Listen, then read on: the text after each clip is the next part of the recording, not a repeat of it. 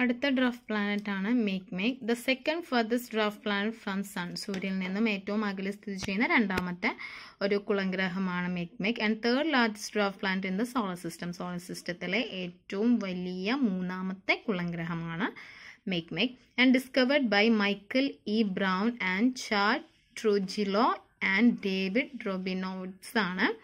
Make make കണ്ടുപിടിച്ചത് two thousand five March thirty ഫസ്റ്റിനാണ് Makemake discover ചെയ്തത്. Has one moon അതായത് ഒരേ ഒരു ഉപഗ്രഹമാണുള്ളത്. Its name is M K two it's a classical Kuiper belt object അതായത് Kuiper ബെൽറ്റിലാണ് Makemake കാണപ്പെടുന്നത്. And Makemake was named three years after its discovery in two thousand eight അതായത് Makemake കണ്ടുപിടിച്ചതിന് ശേഷം ഈ ഒരു കുളഗ്രഹം രണ്ടായിരത്തി അഞ്ചിലാണ് കണ്ടുപിടിച്ചതെന്ന് പറഞ്ഞു. രണ്ടായിരത്തി അഞ്ചിൽ കണ്ടുപിടിച്ചതിന് ശേഷം മൂന്ന് വർഷങ്ങൾക്ക് ശേഷം രണ്ടായിരത്തി എട്ടിലാണ് ഇതിന് പേര് നൽകിയതെന്നാണ് പറയുന്നത്. അടുത്തൊരു ഭാഗമാണ് സോളർ സിസ്റ്റത്തിൽ വളരെ ഇമ്പോർട്ടന്റ് ആയിട്ടുള്ള ഒരു ഭാഗമാണ് കൊമറ്റ്സ് അതായത് വാൽനക്ഷത്രം എന്ന് പറയും. ആ snowballs of frozen gases rock and dust that orbit the sun അതായത് സൂര്യനെ ചുറ്റുന്ന ഒരു സ്നോബോൾ അതായത് മഞ്ഞ് കട്ടകളാണ്. അതായത് frozen gases rocks and dust അതായത് പൊടിപടലങ്ങൾ പാറക്കഷ്ണങ്ങൾ ഗ്യാസസ് ഒക്കെ തണുത്ത് ഉറഞ്ഞുകൊണ്ട് ഒരു മഞ്ഞും കട്ടയായി രൂപാന്തരപ്പെട്ട് അത് സൂര്യനെ ചുറ്റുന്നു. അതിനെയാണ് നമ്മൾ എന്താണ് കോമറ്റ് എന്ന് പറയുന്നത് and for which is frozen.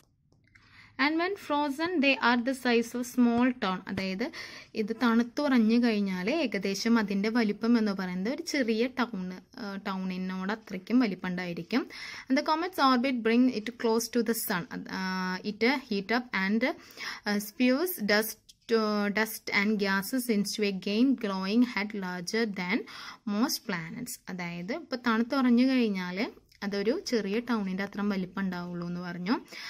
And comet's orbit bring it close to the sun സൂര്യൻ ഇത് ഇങ്ങനെ ഫലം വെച്ച് കൊമറ്റ്സിന് റൊട്ടേഷൻ ഓർബിറ്റിലുണ്ട് എന്ന് പറഞ്ഞു സണ്ണിനെ റിവൽ ചെയ്യാൻ.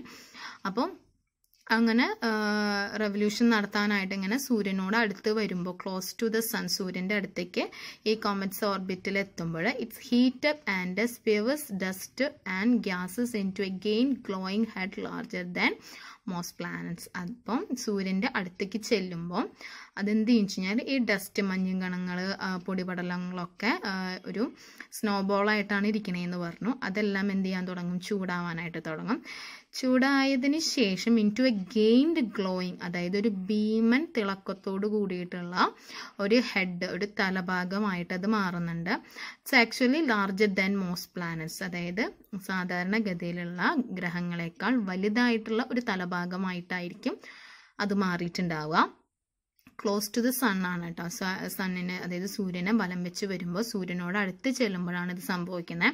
And dust and gases from a tail that stretches away from the sun for millions of miles അതായത് അതേപോലെ തന്നെ ഹെഡിന്റെ കാര്യം പറഞ്ഞു. ഭയങ്കര ഒരു പ്ലാന്റ്സിനേക്കാളും വലുപ്പത്തിൽ തലഭാഗം വളരെ ഭീമമായ ഗ്ലോയിങ് തിളക്കത്തോട് കൂടിയിട്ട് മാറും എന്ന് പറഞ്ഞു. ഇനി ടൈൽ നക്ഷത്രങ്ങളുടെ താഴ്ഭാഗം എന്ത് ചെയ്യുന്നു വെച്ചാൽ ഈ ഡസ്റ്റ് ഗ്യാസസ് ഒക്കെ സൂര്യനിൽ നിന്നും അകന്നു പോകുന്ന രീതിയിൽ സ്ട്രെച്ച് ചെയ്ത് നീണ്ട് നീണ്ട് മില്യൺസ് ഓഫ് മൈൽസ് മില്യൺ എന്ന് പറഞ്ഞാൽ നമുക്കറിയാം പത്ത് ലക്ഷം എന്നാണ്. അപ്പം മില്യൺസ് അത്രത്തോളം മൈൽസ് ദൂരത്തേക്ക് ഈ ഡസ്റ്റും ഗ്യാസസും ടെയിൽ ഇങ്ങനെ സ്ട്രെച്ച് ചെയ്തുകൊണ്ടേ പോയിരിക്കും. അതാണ് ഈ വാൽ വാൽ നക്ഷത്രം എന്നൊക്കെ നമ്മൾ പറഞ്ഞ വാലയായിട്ട് നമുക്ക് തോന്നണത് അതാണ് ഈ ഡസ്റ്റ് ആൻഡ് ഗ്യാസസ് ഈ സൂര്യനിൽ നിന്നും അകന്നു പോകുന്ന ഒരു പാത്താണത്. And the millions of comets orbiting the sun in Kuiper belt അതായത് നമ്മൾ നേരത്തെ പറഞ്ഞു ബിൽ മില്യൺ എന്ന് പറഞ്ഞാൽ നമുക്ക് എല്ലാവർക്കും അറിയാം. മില്യൺ എന്ന് പറഞ്ഞു കഴിഞ്ഞാൽ പത്ത് ലക്ഷമാണ്. ബില്യൺ എന്ന് പറഞ്ഞു കഴിഞ്ഞാൽ നൂറ് കോടിക്ക് ഈക്വൽ ആണ്. അപ്പോൾ billions of comets orbiting the sun in Kuiper belt അതായത് കൈപ്പർ ബെൽറ്റിൽ നിന്നും നമ്മുടെ സൂര്യനെ ബലം വയ്ക്കാനായിട്ട് ഏകദേശം ബില്യൺസ് ഓഫ് കോമറ്റ്സ് അതായത് നൂറ് കോടി കണക്കിന് നക്ഷത്രങ്ങൾ സൂര്യനെ ബലം വയ്ക്കാനായിട്ട് കൈപ്പർ ബെൽറ്റിൽ നിന്നും സ്റ്റാർട്ട് ചെയ്യുന്നുണ്ടെന്നാണ് പറയുന്നത് and current number of known comets അതായത് നമുക്ക് ഇപ്പോൾ അറിയുന്ന കോമറ്റ്സ് എന്ന് പറയുന്നത് is three thousand five hundred seventy ആണ്. മൂവായിരത്തി അഞ്ഞൂറ്റി എഴുപത് കൊമറ്റ്സ് ആണ് നമ്മൾ കണ്ടുപിടിച്ചിട്ടുള്ളത്.